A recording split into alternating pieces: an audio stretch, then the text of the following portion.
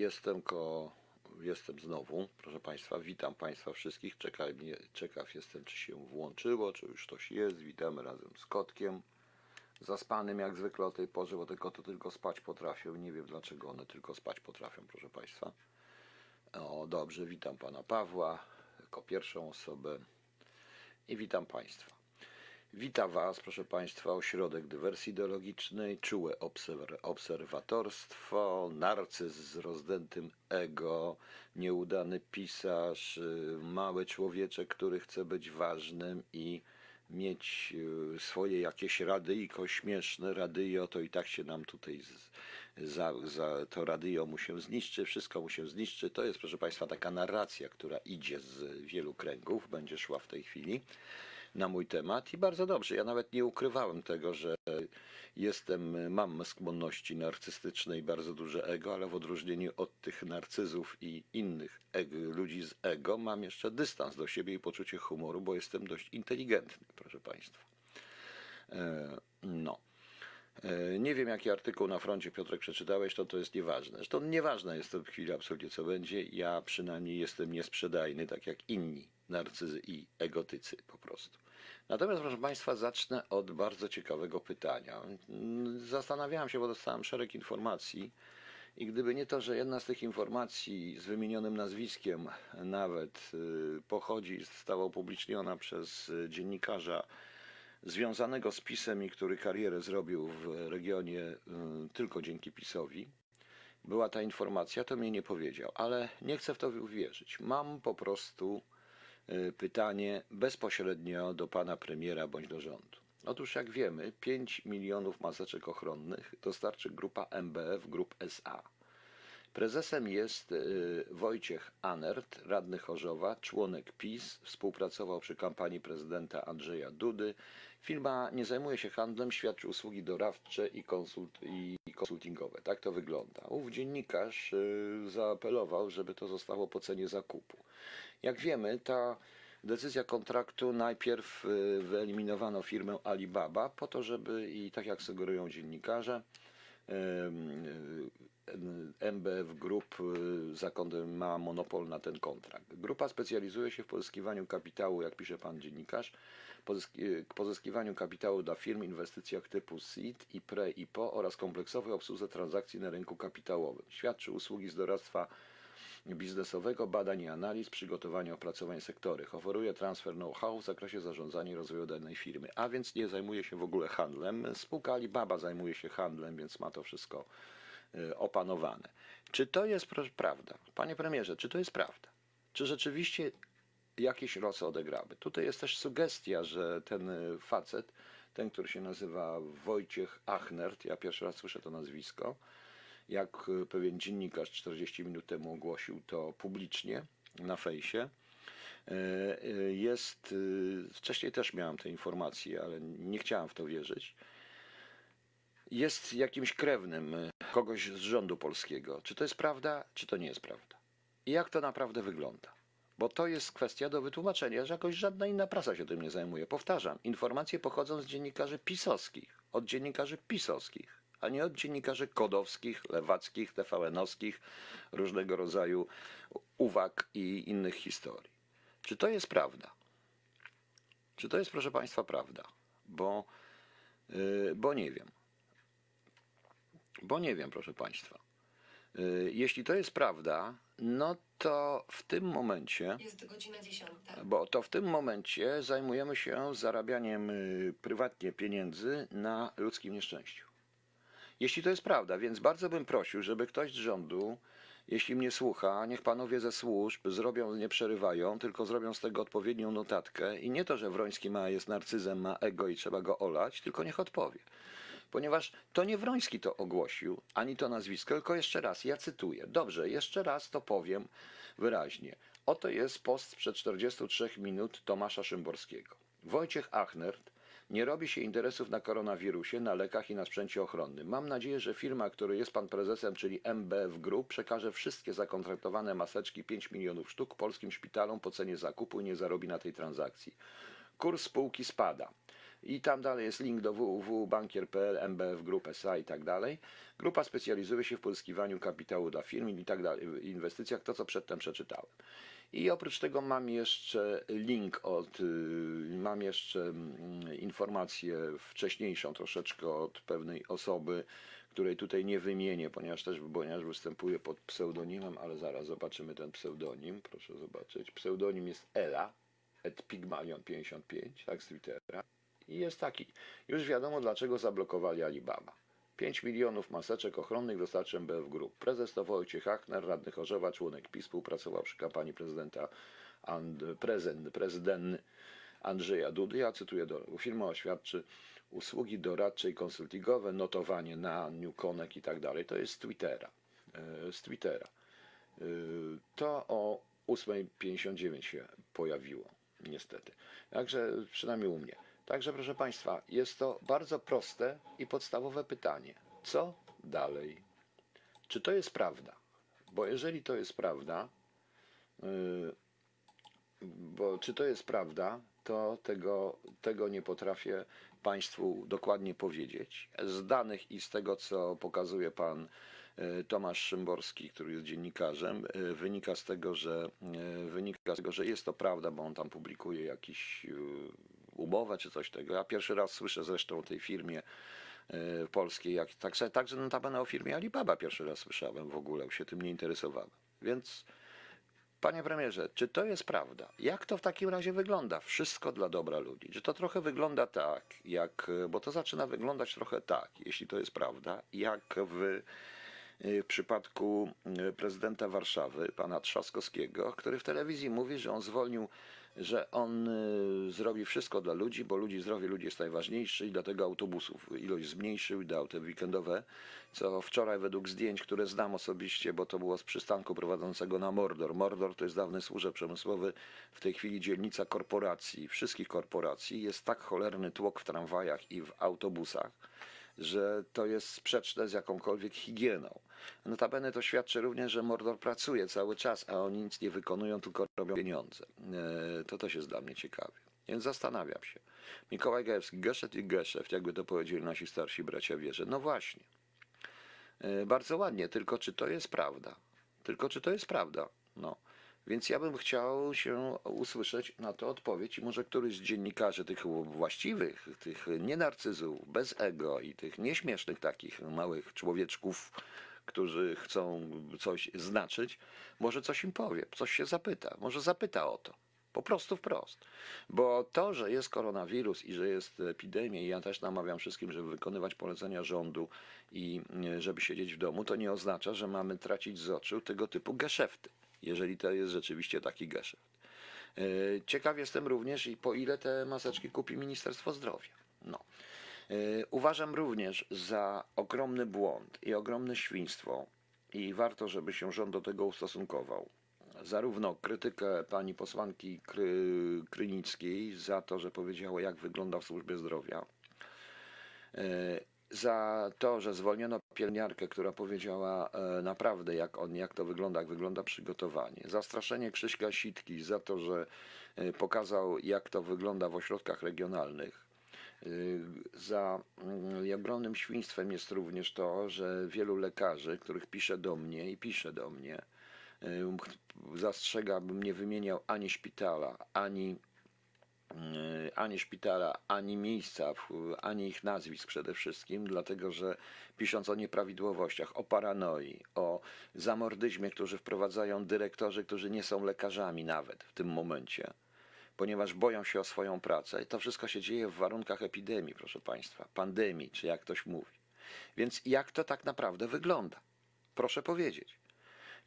Tu w Niemczech y, jest wielu, występuje dziennikarzy, lekarzy innych takich, którzy mocno jadą po rządzie niemieckim, że jest nieprzygotowana. Rząd niemiecki nikogo nie straszy, tylko się w kółko tłumaczy. Głupio, bo głupio, to się tłumaczy.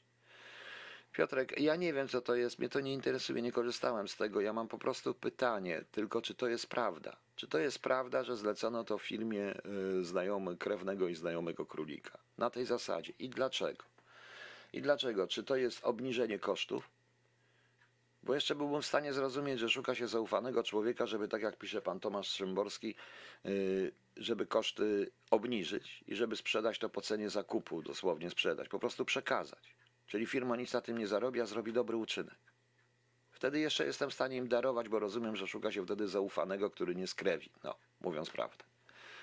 Ale chciałbym usłyszeć odpowiedź. No. Słyszał pan o wysłaniu kilkuset tysięcy do Chin przez polską firmę odzieżową. Wykupili i teraz są braku na rynku. Cytuję z artykułem Monetu. Tak, słyszałem. Ja słyszałem o tym. No. Słyszałem o tym. Yy, Słyszałem o wielu rzeczach, tylko wielu rzeczom nie daje wiary i powiedział mnie, poruszyłbym również tej sprawy, gdyby nie to, że dziennikarz związany z PiSem i mianowany przez PiS na różne stanowiska i forowany troszeczkę przez PiS, został yy, to napisał. Jeżeli już on to napisał, to znaczy, że w jego Katowicach, w jego, bo to z Katowic się dzieje, przecież to wiadomo, Chorzów to wszystko, na tym Śląsku jest paranoja. Zwolnienie tej mm, pielęgniarki w Nowym Targu jest moim zdaniem w tej chwili przestępstwem. I to nie ona powinna zostać zwolniona, tylko powinien zostać zwolniony działacz pisowski, dyrektor przede wszystkim tego szpitala. I ten działacz pisowski, który mu to kazał. To wszystko świadczy o tym, że centrala partii nie panuje w ogóle nad kacykami e, regionalnymi. I nie panuje rzeczywiście. I to jest prawda, proszę Państwa. Tak to wygląda. E, Tak to wygląda. No, pielęgniarkę, powiedziała, no ja wiem o tym, właśnie o tym tej chwili mówiłem. Yy, Marena Z. Podobno kupili za 80 groszy, za 80 groszy, a ministerstwo kupiło za 3,50, ale to wieści niesprawdzone. No, no pani Mareno, no niesprawdzone właśnie, dlatego ja yy, nie dys- dyskutować na tym. Jest też informacja, że w testach, które jest koronawirus w Czechach, które Czesi czy w tych maseczkach są, yy, są też bakterie. To jest tak jak mówiłem, że nagle po przybyciu chińskiej pomocy tak zwanej, ludzie zaczynają masowo chorować i umierać. To jest coś ciekawego, co się z tym y, wszystkim, y, tym wszystkim dzieje. Też warto, żeby ktoś to zdementował, bądź też, y, bo ja nie stawiam kropki nad i, nie wiem jaka jest prawda. Może jest taka, może jest inna, nie wiem. Ale w tym przypadku, tutaj przypadek już jest dokładnie, proszę Państwa, do, dokładnie pokazany.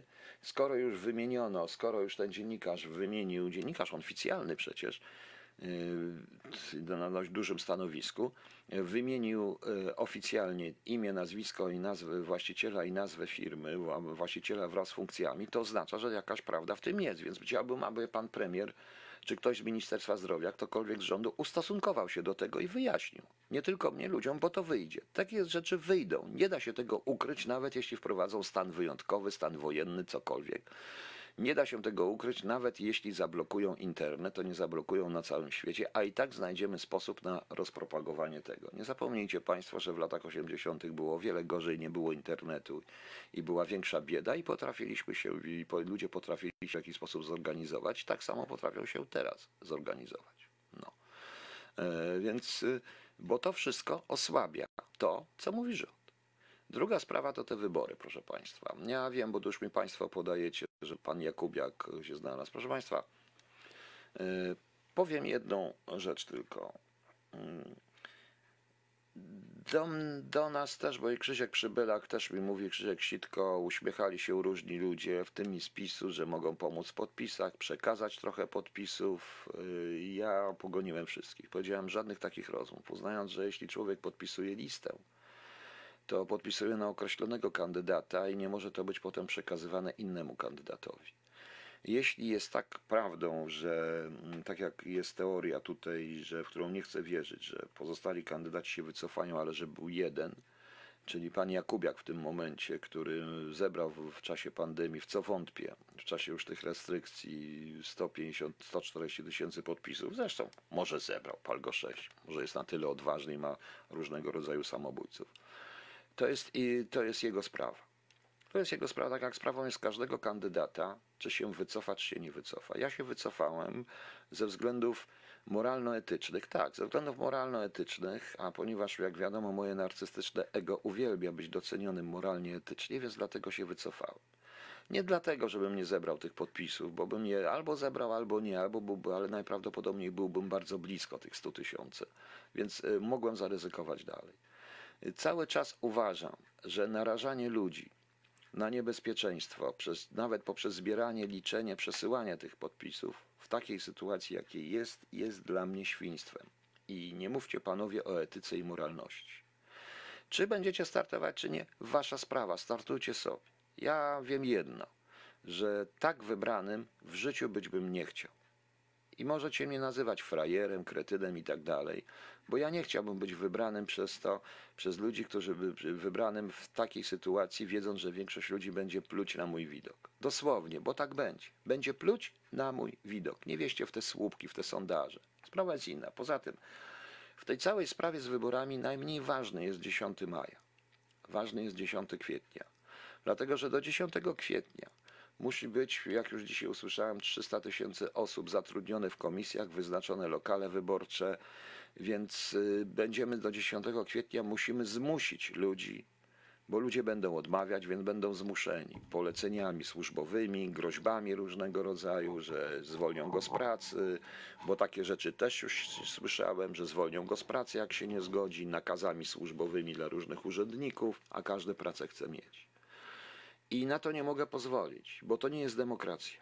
Bo to nie jest żadna demokracja. To jest cyrk. I ten cyrk będzie trwał. Będzie trwał. Wybory się odbędą tym tego 10 maja, mogą się odbyć 10 czerwca, mogą się odbyć do 30 lutego w przyszłym roku, mogą się odbyć za dwa lata, za pięć lat. To jest najmniej ważne, bo te wybory będą najmniej ważne.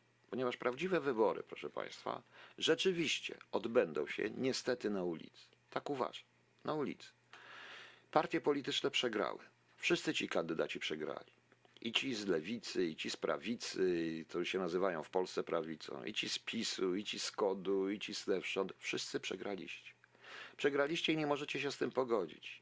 Myślicie, że jeśli zamkniecie jakiegoś wroń, mordę jakiemuś Wrońskiemu, nazwiecie go narcyzem, będziecie go deprecjonować, to coś zmieni?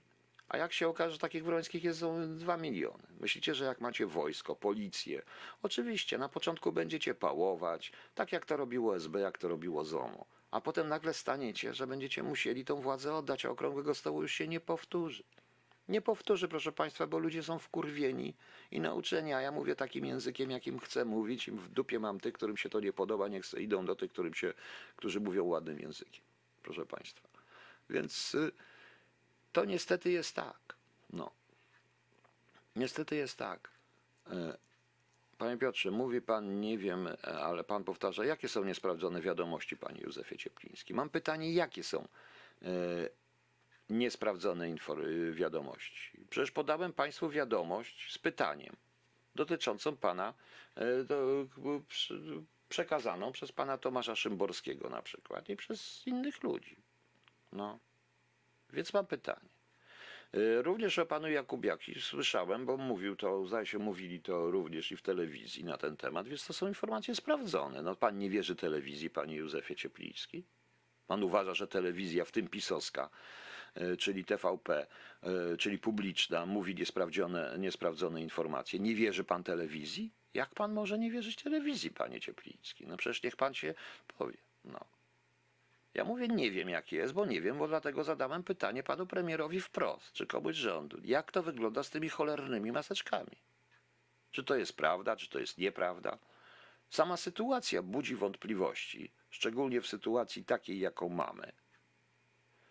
Y, Czy niesprawdzoną wiadomością jest to, że zwolniono pielęgniarkę za to, że krytykowała?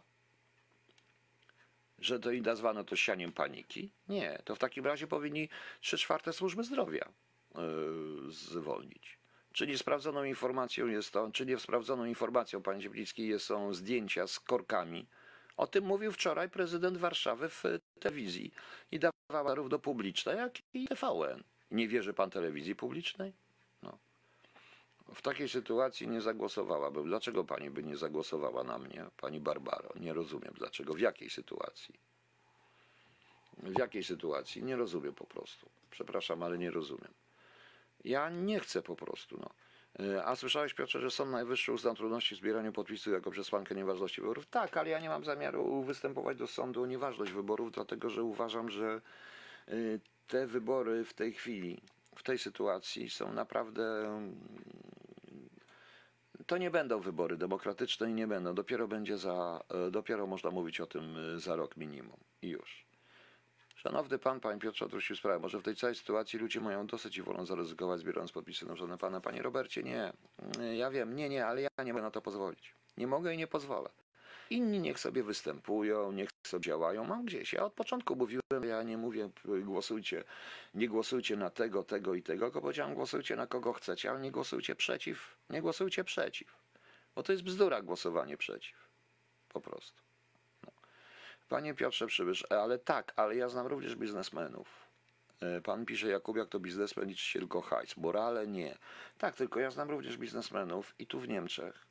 Bo na przykład jedna z dużych firm y, posiadających różne historie, sama nieproszona przez rząd, y, zwolniła z czynszu podnajemców różnego rodzaju drobne przedsiębiorstwa, głównie fryzjerów, y, jakieś kosmetyczki, coś co jest wiadomo, że nie będą zarabiać teraz. Sami zwolnili z czynszu i powiedzieli, że jakoś się kiedyś rozliczymy. Znam również parę firm w Polsce prywatnych, które z między innymi druku 3D, które z własnych pieniędzy, z własnych materiałów, nie żądając forszy, zaczęło robić bez atestu oczywiście, za co pewnie każą im zapłacić VAT yy, i kary, ale nim pieprzą to wszystko, zaczęli robić yy, kaski dla strażaków czy innych tych ratowników, po prostu tak jak mogą. No. Więc proszę Państwa, bądź szczery. No. E, więc to nie jest tak do końca. Po prostu niektórzy chcą tak. A gdyby usunięto limit 100 tysięcy, złożyłby pan podpisy Andrzejewski? Nie. Nie złożyłbym również w tej chwili. Tak samo bym nie złożył, gdyby usunięto limit. Nie złożyłbym również, bo uważam, że zmuszanie ludzi do. Bo wcale mi nie chodzi o te głupie podpisy. Po prostu. No. Yy, chodzi o to, że chodzi o to, że wybory to nie tylko podpisy, to są ludzie, zwykli, normalni ludzie, urzędniczki czy urzędnicy mający rodziny, którzy to wszystko liczą w warunkach szkodzących ich własnemu zdrowiu w tej sytuacji. To są ludzie, którzy muszą przypilnować, to są nawet dozorcy, sprzątaczki, którzy muszą przypilnować i, za, i zbudować komisje wyborcze, wstawić urnę, w, wyczyścić to wszystko. To są również ludzie siedzący w komisjach. Proszę Państwa, to jest to. To jest szereg historii, to jest również policja, która musi tego wszystkiego dopilnować. O tym nikt nie mówi. I to ma być wszystko do 10 kwietnia. Policja, która ma, mając tyle roboty z pilnowaniem kwarantanny, z zapewnianiem porządku, zapewnianiem łączności, będącą czasami jedynym ratunkiem dla wielu ludzi samotnych, nie mogących wyjść, ma się teraz zajmować jeszcze lokalami wyborczymi. No zastanówcie się Państwo. Nie pozwoliłbym, po prostu moje własne ego, mój własny narcyzm by mi na to nie pozwolił, bo ja nie chciałbym być nigdy właśnie z tego powodu ego i narcyzmu. Nie chcę być wybrany w takich warunkach. Na cokolwiek. Nie chcę startować w takich warunkach. Żeby zaistnieć? Paranoja. Bez sensu. I tak zaistnieje, bo napisałem sześć książek, które po mnie zostaną i siódma też. Notabene y, z tego, co usłyszałem, panie Gliński, tylko nie wiem, co się stało z jego stroną i tak dalej, nie miałem z nim dawno kontaktu, ale wiem, że wydaje drugie wydanie Choluba 2 w miękkiej oprawie. Nie wiem, Choluba 1 znaczy się. Y, nie wiem, to też jest kwestia zaistnienia. Poza tym wystarczą mi również opinie o tych książkach od ludzi dość znaczących niestety. E, tutaj z tymi korkami Warszawy to wina władz miasta, nie jestem w temacie. Panie Ryszardzie, to nie są korki. Jeśli zmniejsza w dni powszednie zmniejsza się częstotliwość e, tramwajów i autobusów, jazdy tramwajów i autobusów ze względu na koronawirusa, to tworzy się korki, bo ludzie jeżdżą do pracy. E, w takim służewiu w Mordorze pracuje około 20 tysięcy osób na takim służewiu. Tam w tych wszystkich mordorowniach, jak ja to mówię, tam są wszystkie te wielkie korporacje, plus galeria, która jest zamknięta, ale mm, to jest służewiec przemysłowy. Pracuje tam, e, tam prawie 20 tysięcy osób. Dojazd tych ludzi, e, tam zawsze są tłok w tramwajach, e, nawet w dzień powszedni, chociaż tramwaje jeżdżą co 3-4 minuty tam jeździ, tak jednak się ludzie przesiadają z metra. Natomiast zmniejszenie tego, kiedy ludzie chodzą tam do pracy, bo tam jest pusto w sobotę, w niedzielę tam nikogo nie ma, tam wszystko jest nawet knajpy pozamykane. To proszę Państwa, mm, takie jak City w Londynie mniej więcej, to y, tłok jest wręcz makabryczny. Są zdjęcia na Facebooku. Zresztą żona, która wczoraj jeździła, też musiała pojechać, też mi mówiła. No. Właśnie. W czasie trwania koronawirusa w maju. No i oczywiście, ja bym nie, nie, ja bym nie chciał, żeby ktoś głosował wtedy po prostu. No. Myślę, że dobrze sobie bycie piany wiele bo wybory tak, ale to już trzeba ludziom ogłosić po prostu, a nie doprowadzać do takiej sytuacji, to również ze względów politycznych. Ja mówiłem, proszę pana, panie Kawa, jak pan, jak pan, pani, jak posłucha pan, to ja zdaje się, że jakieś dwa tygodnie temu mówiłem, że te wybory się nie odbędą, ale par 6. E, Rafał Sonik w wywiadzie, bo wczoraj mówił, że są kancelarie prawnicze, które szykują pozów przeciwko państwu odszkodowanie za zamknięcie sklepów w galeriach handlowych. No to niech sobie szykuje. To też jest kwestia po prostu, jak oni myślą o swoim państwie w tym momencie. No. No, E, tak, panie Mirosławie, to jest to. Ludzie zarażają się w komunikacji, bo prezydent z L4 wydał decyzję o zmniejszeniu częstotliwości, bo myśli, że ludzie nie pracują. Powiem więcej. E, Ten pan prezydent jeszcze twierdzi, że zrobił to dla ludzi, co dla mnie jest w ogóle śmieszne. No. Y, Tutaj y, czytałeś artykuł we froncie, Piotrek mi dał, pandemia czy już trzecia wojna światowa. To jest trzecia wojna światowa. Myśmy wielokrotnie myśleli, że to będą huk. To się może skończyć hukiem y, notabene, ale na razie to trwał jeszcze. Chcę dzisiaj o tym mówić, proszę Państwa. Macie jakieś pytania, to proszę o pytania, proszę Państwa, do, od Państwa. Kuty, Kida, gdzie Ty tu wlazłaś? No. Y, Także jeszcze raz, bardzo bym y, prosił, jeżeli ktoś mnie tutaj słucha, albo niech rząd się do, tego, do tej sprawy z tą grupą y, ustosunkuje z tymi maseczkami. O co w tym wszystkim tak naprawdę chodzi? Bo być może to nie ma żadnej sprawy, być może te maseczki zostaną rzeczywiście, ta, ta firma jest tylko wyłącznie pośrednikiem w przesłaniu tego wszystkiego. Może nie, może nie będzie chciała spekulować, może po cenie zakupu kupi i wiem jaka ta cena zakupu. No zobaczymy. Zobaczymy, proszę Państwa. Zresztą tak notabene widać wyraźnie, jak padają wszystkie te... Yy, Wracam do tego, co Pan mówił Panu Rafale Soniku. Wie Pan, yy, Pani yy, Kulczyk dała yy, 20 milionów na walkę z koronawirusem. Przepraszam, to jest jałmużna. To dlaczego nie podjęła decyzji o zwolnieniu z opłat autostradowych, prawda? Dlaczego? Dlaczego żaden z tych przedsiębiorców nie pomógł w realizacji tego programu Powrót do Polski? Gdzie y, ludzie wracali za własne pieniądze i to wysokie pieniądze. Gdzie lot też jest wściekły, bo nie wie dokładnie, co ma robić. Musiał wymusić pewne rzeczy. Gdzie okazuje się, że, trak- że stewardesy narzekają, że ludzie ich strasznie źle traktowali. Gdzie jakiś jest ogromny hejt na wracających z Polski i w ogóle do Polaków między sobą. W tej chwili zdaje się, ten podział zrobił się okropny, ogromny. Niesamowity wręcz y, gdzie jest kwestia Przemyśla, która jest, y, która, o której mówił prezydent miasta Przemyśla, że tych wszystkich Ukraińców, którzy mają wrócić na Ukrainę, zgrupowano w Przemyślu, tworząc ogromny tłok, ogromne kolejki, ogromne zagrożenie, zarówno dla tych ludzi, jak i dla wszystkich naokoło. Nikt o tym nie pomyślał. Jeżeli wprowadza się coś takiego, trzeba było pomyśleć. Jest u mnie na profilu, na KHT jest filmik, i na grupie KHT jest filmik Adama Lipskiego, który udostępnił y, takiej dziewczyny, która jeździ na tir, który jako tir y, jeździ na tirze, jest kierowcą i opowiada, i opowiada o tych, i opowiada o botach tych wszystkich kierowców, o tym czekaniu i tak dalej. Natomiast co my mamy? Mamy propagandę z TVP Info o tym, jak Niemcy nas krytykują. Nie, Niemcy nas nie krytykują. Więcej, Niemcy zaczęli robić to samo, co my. Natomiast byli zaskoczeni, że tak zamknięto granice. Bo trzeba było zostawić, trzeba było ograniczyć e, granice, ograniczyć tylko i wyłącznie przejścia dla samochodów osobowych, natomiast samochody dostawcze puszczać wolno, tranzytem. Pilnować tylko zjazdów do, zjazdów do, do, do po prostu. Ale nikt o tym nie ważne. No.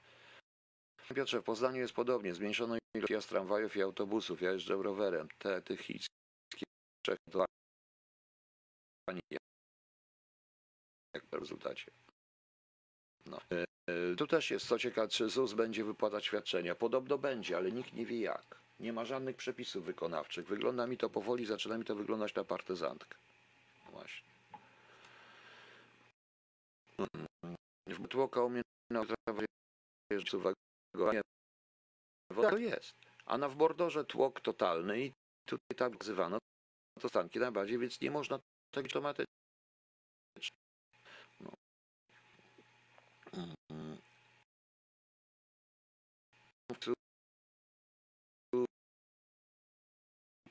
Są w telewizji, może pan odpowie na to, co powiedział. Wszystko mówić.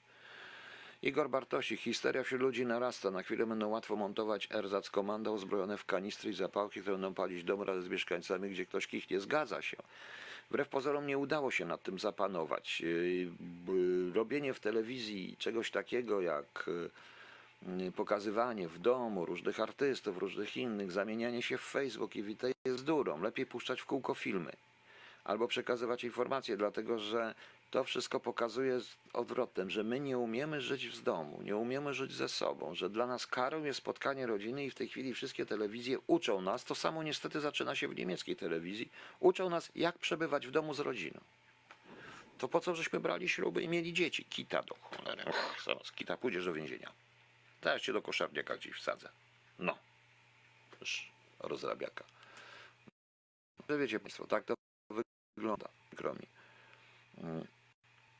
W, UK zaczęli wszystko poza sklepami z jej zjedzeniem i boczną bankami i tak mają wywalone. No mają wywalone, nie da się. No. Tymczasem Rosjanie z gracją stali rachityczną siłę i objęli swoją pomocą Włochy. Być może doprowadzono tym do zniesienia sankcji, które wymierzono przeciwko nim. Być może, proszę Państwa, być może. Kita, Kizia, no wiecie co ten kot? Ten kot zwariował dosłownie. Nie dobieraj mi się do kawy. O, to kto kot? To kot, słyszycie kota? O, już poszedł kot. No. Dosyć. A On i tak siedzi w domu. No. Komu bardziej opłaca się przesunięcie terminu wyboru pod względem politycznym? Adrian Wojny? Nikomu. Moim zdaniem nikomu. E, Po prostu to nie jest to pod względem politycznym. Sytuacja wymusza, jeżeli mówi się o dobro, o dobrze narodu i mówi się o narodzie, to w tym, czy o obywatelach i społeczeństwie, to trzeba robić dla społeczeństwa. Komu? Ani żadnej głupiej opozycji. No bo jeżeli ma się, o, o, jeżeli ma się mm, opozycję, w której główna przedstawicielka opozycji myli respiratory z inspiratorami, to, to przecież to jest śmieszne. Na kogo macie głosować? No przecież wiadomo było, że pan Duda wygra te wybory w, może w pierwszej, trochę w drugiej. Zobaczymy po prostu. No. Po prostu. To, to, to jest tak, że nie odpowiem panu na to pytanie, bo cała ta klasa przegra. Zrozumcie, cała ta klasa przegra i przyszłe wybory niestety, od niestety mówię, odbędą się na, odbędą się na ulicy. Wygra ten, kto więcej będzie miał traktorów bojowych, kos na sztorc i potrafił będzie to wszystko zorganizować. Przykro mi. Klasa polityczna się wypaliła, nie tylko w Niemczech. Nie ma tej klasy politycznej. Ona jest skończona. I to wszystko, to co nazywaliście nowym motywem, nowymi antysystemowcami i tak dalej, macie przykład. Antysystemowców kupowanych za 5 groszy i za dietę. Macie temat tych wszystkich młodych chłopców i tak dalej, którzy nie zebrali tylu podpisów, tylko mieli je wcześniej, z różnych ustaw. Chcecie ich na pre- prezydentów i będziecie mieli taką samą partię. Zmienią się tylko nazwiska. I szefem takiej firmy będzie nie z PiSu, czy takim, czy szefem takiego szpitala będzie nie z PiSu, ale na przykład z tego. Po prostu. Mm. Piotr, muszę cię zmartwić, że przybyłem. Przekroczyłeś znacznie 80 tysięcy podpisów. Zapytałem zeszłym tygodniu PKW, jak zabezpieczono naszych ludzi w komisjach, które będą przy liczeniu tych głosów cisza. No właśnie, cisza. No. No wiesz, więc y, absolutnie nie, absolutnie nie mamy nie ma problemu. E, No. W UK spodziewają się konkretnej rozpierduchy, przybysz Piotr. Policja, wojsko, close protection są na stand mode, go wiem, ale to jest, osobiście dostałem maila od ja będzie, ale powiedziałem, y, dojdziemy do sytuacji, w której nie, nie starczy im pałek, tarcz ani żołnierzy. Niestety tak to jest i oni są tego pełni świadomi. świadomi. Proszę zobaczyć, że nagle zresztą zniknął, bo ostatnio nie było godziny, żeby nie było, y, nie było ministra zdrowia w telewizji i od dwóch dni cisza. Jest raz dziennie. Po prostu. No. E, Pani Jowita, właśnie, to jest jeszcze to, a jak będą działać e, komisje wyborcze dla Polonii? Ostatecznie prawo będzie obowiązywać wszystkich. E, Ambasada jest terytorium eksterytorialnym, w ambasadach i w konsulatach, gdzie mogą być komisje wyborcze, ale dostanie się do tych przy zakazie w domu może być zakazane. Będziemy podpisywać umowy, który z rząd będzie z nami rozmawiał na temat wyborów po tym, co się stało we Francji i po fiasku wyborów e, we Francji. To też jest sprawa. No to Polonia się wykluczy. Po co Polonia ma głosować? Żartuję po prostu. No. No, Pani Teresy, ja nie wiem, na czym pani otwarza. Jakoś tylko jak no. no. Y, Dobrze, że Krzysiu, ale to na przyszłość. Może się to przyda jeszcze. To jest grupa ludzi, którzy może stworzyć jakąś partię, ludzi rozsądnych i już. Dobrze, proszę Państwa. Skończymy. Ja jeszcze raz stawię pytanie do rządu, jak z tymi maseczkami. Warto, żeby to wyjaśnił. Gdzie są dziennikarze? Powtarzam, informacja nie pochodzi z TVN-u, nie pochodzi z dziennikarzy związanych z kodem SLD, z niej i tak dalej, tylko z, od dziennikarza związanego z PiSem im awansowanego przez PiS, mocno pisowskiego dziennikarza. No. E, nie będzie, było maksymalnie dwie osoby. Tak, i muszę powiedzieć, panie Daniel, muszę powiedzieć, Daniel, że wczoraj tutaj wieczorem widziałem na, e, tutaj są place zabaw i stałem, paliłem papierosy na balkonie i policja rozwalała, rozpędzała dzieciaki i te, no rozpędzała, no w cudzysłowie rozpędzała, ale zwracała uwagę właśnie dzieciakom i rodzicom, że grupują się za bardzo. No. Piotr Broński, wybory to jedna, ludzie żyją, na przykład jest zamkniętą na placu kolejowym w Pytkowicach koło Wadowic. Wczoraj mówiłem o tym. Wczoraj mówiłem i mówiłem o tych, y, Krzysiu, o tych y, groźbach, jakie dostałeś. No tak, tak. ogłosiła, że produkuje maseczki, kombinezony i przykład do szpitala MSW, jeśli będzie więcej do udostępnienia placówką. Takie mamy lobby. Ale musimy mieć 5 milionów. Nie wiem, no właśnie. E, panie Ryszardzie, później pogadam, bo to proszę postą do radia na kolejny odcinek weryfikacji. Zacząłem czytać weryfikację. I naprawdę nie martwcie się. Pamiętajcie, musimy przeżyć. Musimy, zróbcie wszystko. A to też zastosowanie się do rządu, żeby przeżyć. A tu jeszcze pani Gorbartosik pisze, panie Piotrze, to co napisałem wczoraj, sądzę, że będą musieli ciąć wszystkie 500, plus, a wtedy przegrają, więc dlaczego pchają te wybory teraz, kiedy jeszcze dowypłacają? No tak, ale to jest krótkie, to jest myślenie krótkie. To jest chyba tylko myślenie na stworzenie sobie ewakuacji i nawet wtedy nie będzie możliwe. Bo w tej sytuacji, proszę Państwa, rządzenie może być e, e, bardzo trudne, jeśli nie zmieni się w ogóle mentalności. Tak to jest. Dobra. Proszę Państwa, dobrze, do, odpocznę trochę, doję do 12 albo do 12, zanim nie mam tego przefikacji, może do 11.30, nie wiem. No. E, to potem, proszę Państwa, to, no, trzeba odpoczywam od tego w ten sposób. Mam, mam dziewięć filmów z Hammer House of Horror o Drakuli z Christopherem Lee w roli y, Drakuli, z Peterem Cushingiem. Wspaniałe, klasyczne horrory. Proszę mi wierzyć. No właśnie. A jak w kontekście wykładu na na temat, który uważa udziałki w tej jak Panie Adrianie, nie teraz. Nie teraz. Jeszcze, jeszcze dzisiaj, być może jutro. W każdym razie zaraz na 12 do radia na, na weryfikację. Potem za jakieś parę, dwie, trzy godziny odczytam, y, znowu wrócę do Choluba 2 i przeczytam Choluba 2 i o 20.30 na no. Y, o której dnie? O 12. O 12. O, już. O 12. Obejrzycie to potem, jak to się przemieni, to już nie będzie cięło. No, także kończę. Dziękuję Państwu. Trzymajcie się i przeżyjcie na złość i wszystkim.